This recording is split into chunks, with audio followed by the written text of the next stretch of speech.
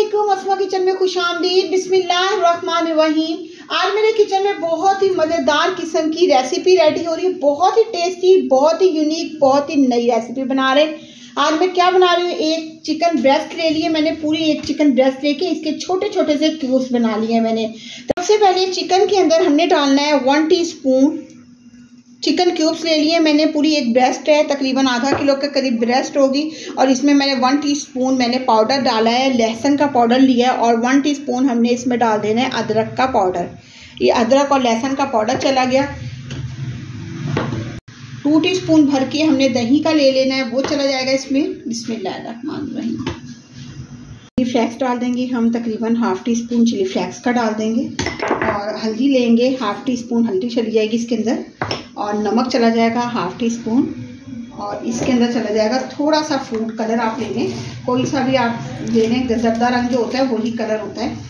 वो हम लोगों ने चुटकी भर वो डाल देंगे फ़ूड कलर ज़्यादा रंग डाल दिया हमने और हमें इसको अच्छे से जो है मैरिनेट कर लेना है। इससे पहले जो मेरे चैनल पे नए हैं, मेरे प्यारे बहन भाई, मेरे फ्रेंड्स मेरे यूट्यूब चैनल देखने वाले, जिन्होंने मुझे अभी तक सब्सक्राइब नहीं किया प्लीज़ जल्दी से मोबाइल उठा लें और मेरे चैनल को कर दें सब्सक्राइब बेल के बटन को कर लें क्लिक ताकि मेरी आने वाली नई रेसिपी सबसे पहले आप लोगों के मोबाइल पे है बहुत शुक्रिया। हमने इसको मैरिनेट कर लिया है और इसको एक साइड पे रख देंगे। दस मिनट के लिए, दस मिनट से पहले हम इसका मसाला रेडी कर लेते हैं। प्याज बारीक स्लाइस में कटा हुआ डाल दिया है। इसमें हम थोड़ा सा घी डालेंगे। तकरीबन ये मैंने हाफ़ कप घी का ले लिया, वो डाल दिया। तो हमने गोल्डन कर लेना है और मैरिनेट किया हुआ चिकन तकरीबन 10 मिनट तक साइड पे रख लेना है।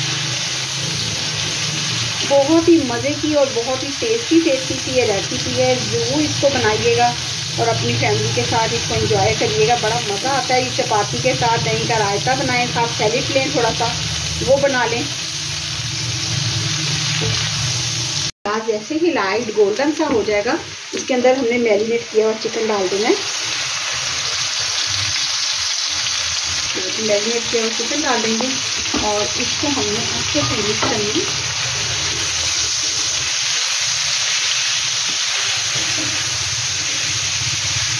बहुत ही मज़े का ये जो है एक टेस्टी सा स्पाइसी सा सालन जो है रेडी होता है। इसको कहते हैं टिक्का प्याज। बहुत ही मज़े का बनता है। इसको हम साइड पे रखते हैं।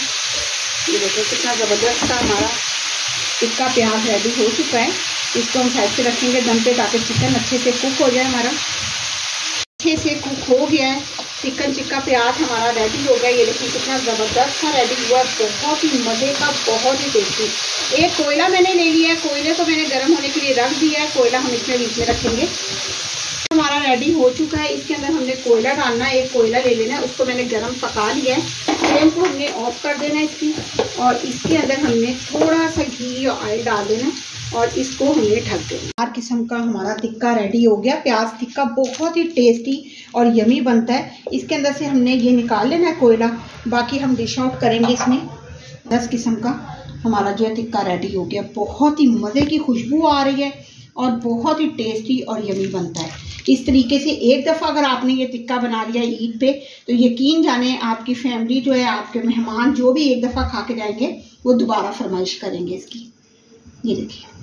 किस्म का टिक्का हमारा घर पे ही रेडी हो गया। सिर्फ़ और सिर्फ़ 20 मिनट के अंदर। उम्मीद करती हूँ आपको मेरी रेसिपी पसंद आ रही है। मेरा चैनल अच्छा लग रहा है तो प्लीज़ फ्रेंड्स मेरे चैनल को लाइक करें सब्सक्राइब करें, ज़्यादा से ज़्यादा शेयर करें। मुझे अपनी दुआ में याद रखें। अल्लाह हाफिज़।